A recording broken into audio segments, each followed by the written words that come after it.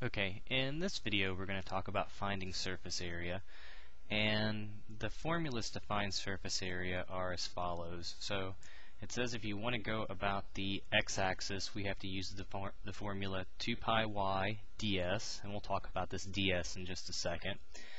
Okay, so we've got some function, we're rotating it about the x-axis. Um, likewise, it says if we want to go about the y-axis, we use the formula 2 pi x ds. Okay, so you have no choice which one of these two you use. If you're going about the x-axis, you have to use the first one. If you're going about the y-axis, you have to use the second one.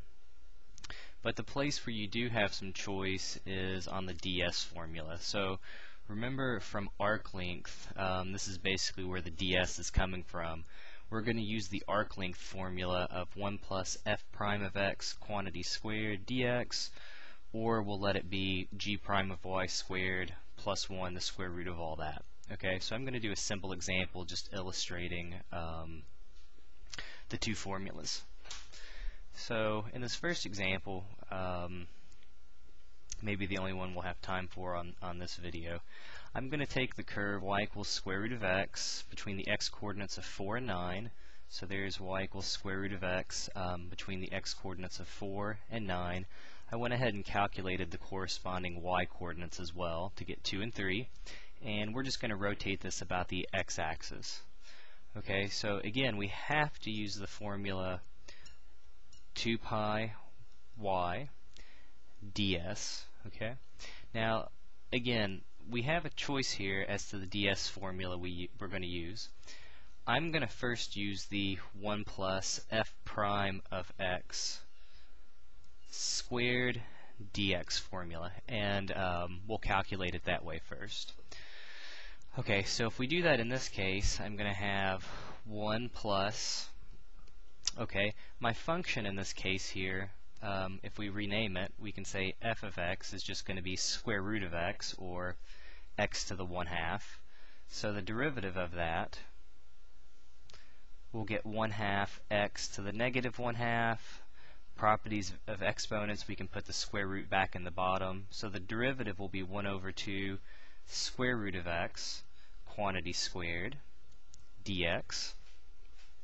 Okay, so if we simplify um, the stuff underneath the square root. It looks like we get 1 plus 1 over, we have to square both parts, so we'll get 4x, made my square root a little big there, dx. Okay, and this is now what's going to go in our formula. Okay, so we have to fill in the left-hand side here of this thing. Let's see if I can't scroll this down real quick. Okay, so I'm going to fill in our formula 2 pi y ds. So it says we have 2 pi. Okay, now again, I'm going to fill in my ds formula first. And this is the ds formula we're using. It's 1 plus 1 over 4x. And let me give myself a little more room here. So let me erase uh, this stuff. And again, we're integrating this now with respect to x, that, that's the ds formula we chose. Okay, that means everything inside of my formula needs to be in terms of x. So normally there's a 2 pi y here, but again, y, we know in terms of x is just square root of x. So that's what will go inside of there. And since I'm using the dx version, my limits of integration will come from the x-axis, so we have to use from 4 to 9. Okay, so now it's a matter of trying to simplify this thing down and um, integrate it. Okay, so this will be from 4 to 9. We've got 2 pi square root of x. Now, I'm just going to get common denominators um, underneath the square root. I would get 4x um, plus 1 over 4x dx. And to integrate this, that's going to be from 4 to 9. Again, I've got 2 pi. I've got square root of x. We could write this as the square root of the top, which is 4x plus 1. If you take the square root of the bottom, we'll get 2 square root of x dx. Well, this is nice because now the 2's cancel. The square roots of x cancel. I'm going to go ahead and pull my pi out front. I've got 4 to 9. Um, and then I'm just simply left integrating 4x plus 1 dx. So let me uh, go back up here. Um,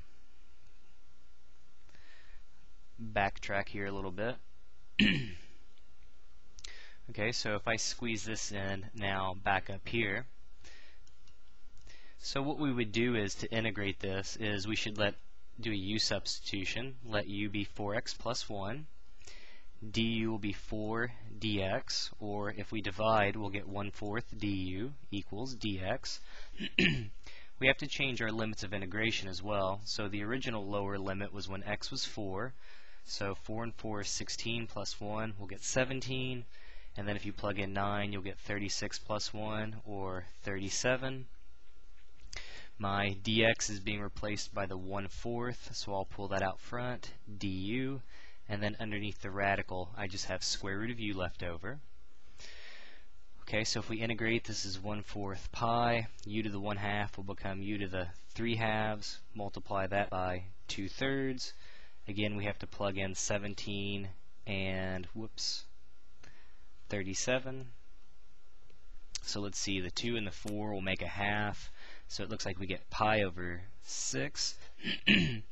and then we're going to have 37 raised to the 3 halves power uh, minus 17 raised to the 3 halves power.